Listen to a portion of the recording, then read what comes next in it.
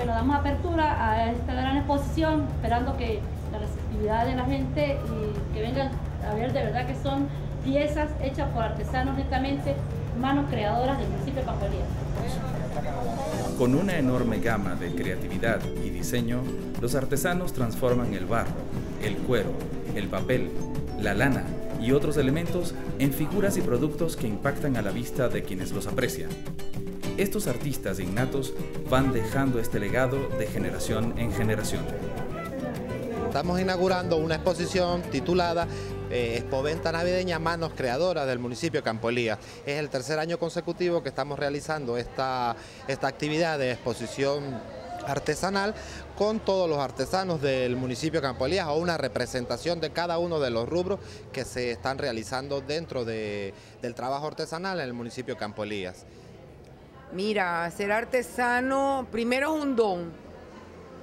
Este, la pintura tú plasmas sentimientos, este, plasmas eh, ideas para que otras personas les guste y lo tengan en, cuenta para adornar su hogar o para regalar.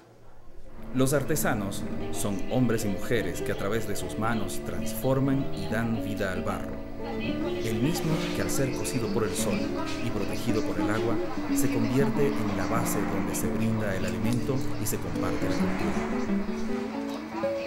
El barro, yo mando los obreros, me traen la, tierra, la tierra cernida de, de la montaña donde nosotros la agarramos. De ahí me la traen cernida yo le echo pura agua y empiezo a amasarla como si estuviera amasando esta harina. Nos ponemos a moldearla después que la amasamos. A moldearla a pura mano, porque yo no uso tornos. Para pulirla, este, uso las piedras de, de mar. Y los platones que es de la misma base, son las, estas bases de aquí son las que yo uso para trabajar la pieza.